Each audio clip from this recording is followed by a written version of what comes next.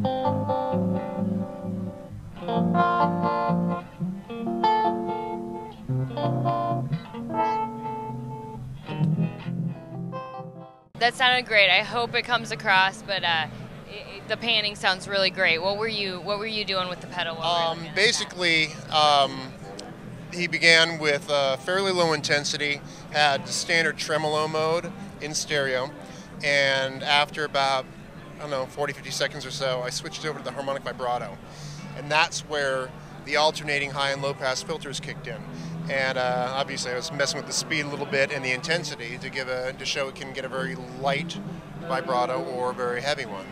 Great. Now you also have the Fat City. Right. You want to tell us about that a little bit? Absolutely. Basically, it is two independent overdrives. It is um, they're basically we've got a one mild overdrive and one fairly heavy Marshall type overdrive. Um, they're independent of each other, so you can have either one or both on at the same time. You can cascade. Um, in addition, it's got an independent boost, which can be switched to be pre or post overdrive. So you can, in pre mode, you can just goose the overdrive a little bit with a hotter signal. In post mode, you can actually increase the volume significantly.